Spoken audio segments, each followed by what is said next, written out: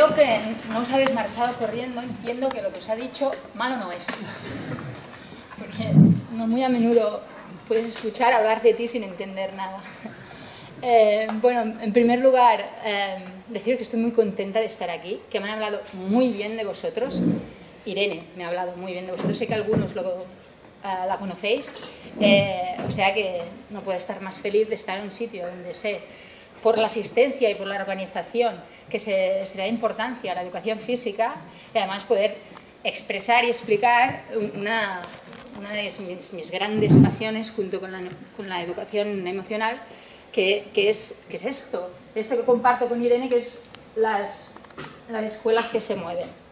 Tenemos un poco la pasión de intentar coger lo que es la educación física, eh, la información divulgativa de neurociencia y plantear un paradigma en el que eh, la actividad física orientada a través de la educación física sea el futuro de las escuelas.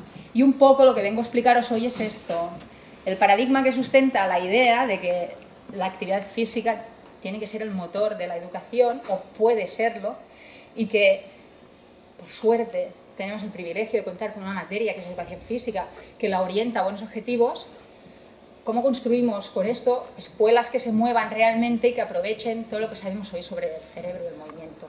¿Vale? ¿Me veis bien aquí abajo? ¿Sí? Vale, perfecto.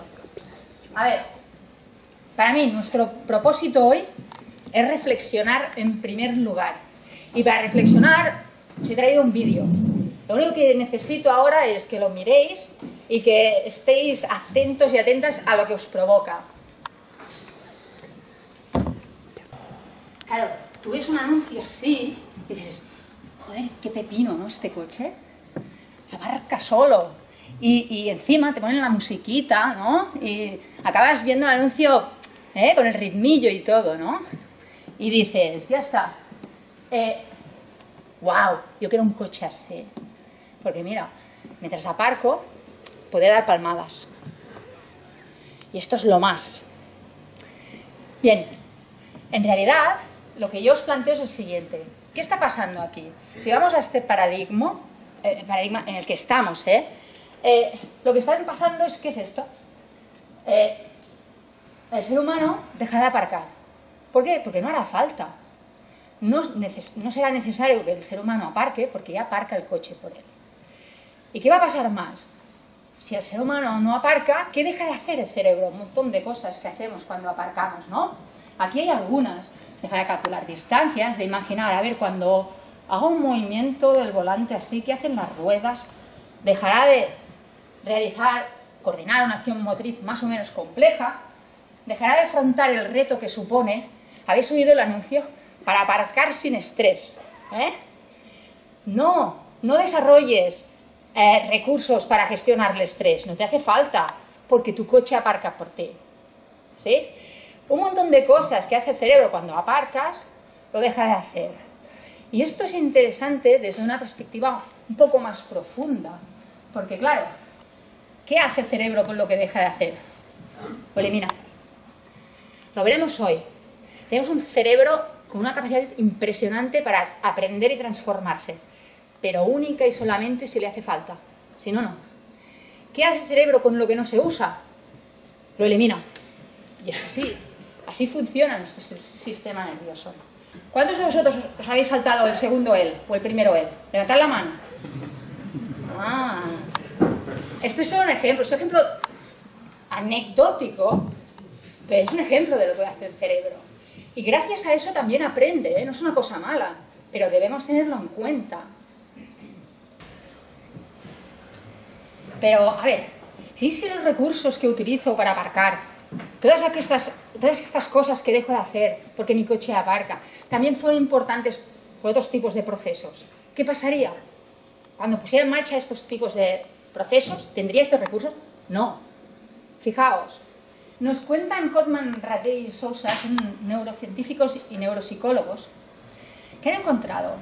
Todos nosotros sabemos que el cerebro es una parte importante del cerebro en cuestiones de movimiento, se, encarga de cosas importantes, equilibrio, postura, motricidad gruesa.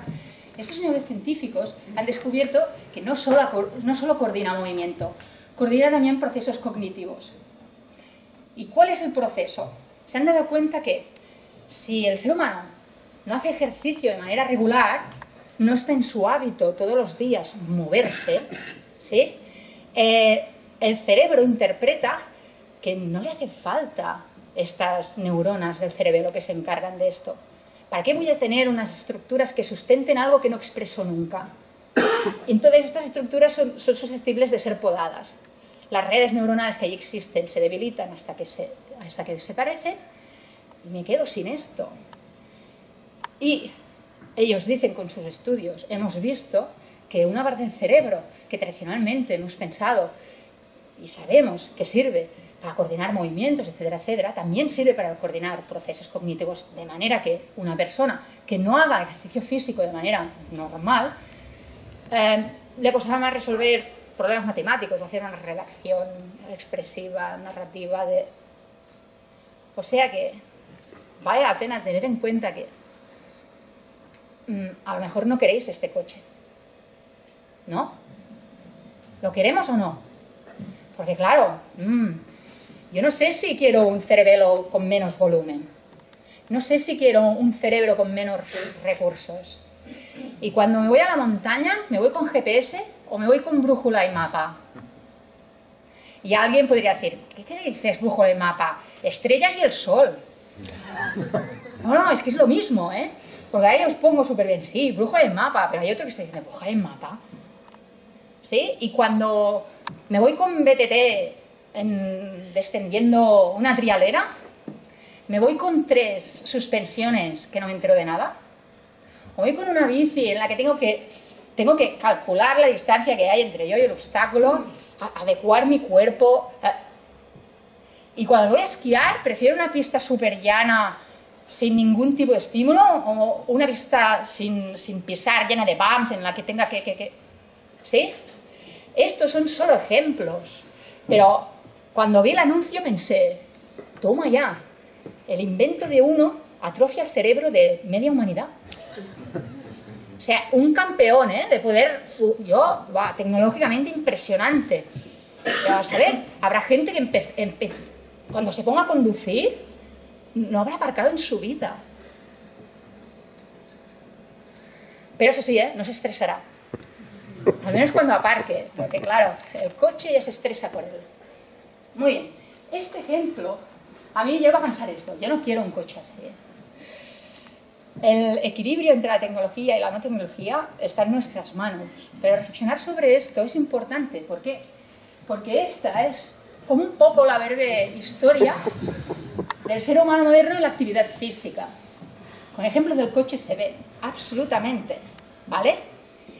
Y yo lo cojo de ejemplo, ¿por? Porque es una manera de ilustrar lo que os quiero explicar hoy, que es cómo la materia de educación física pasa de ser una finalidad en sí misma, porque lo es, el desarrollo motriz de nuestros alumnos, del ser humano, esta es su finalidad, como otras materias tienen la suya, la nuestra es esta y otras, además a sumarse como un instrumento realmente importante a tener en cuenta y creo que inspirador para el resto de materias.